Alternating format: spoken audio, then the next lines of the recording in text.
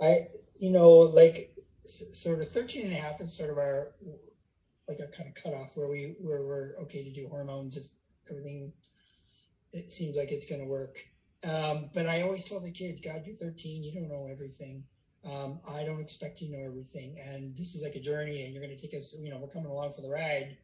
And, you know, we start this, it doesn't mean you have to continue. It doesn't mean you have to go up every single time you come, I'm going to ask you what you want to do with your hormones. Are you happy where they are? And kids do shift with time.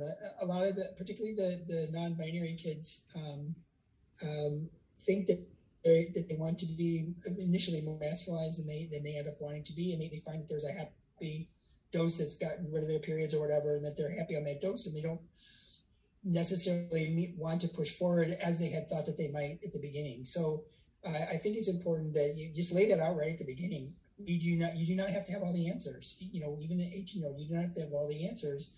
Let's work with what we got today, and you keep letting me know, and I'm going to keep pestering you. You know, what do you want to do about this? What do you want to do about this? Or you're not ready to make any decisions. You don't even want to talk about it today. Fine, let's just see everything the same. And I think the kids need that space to to know that a they're in charge.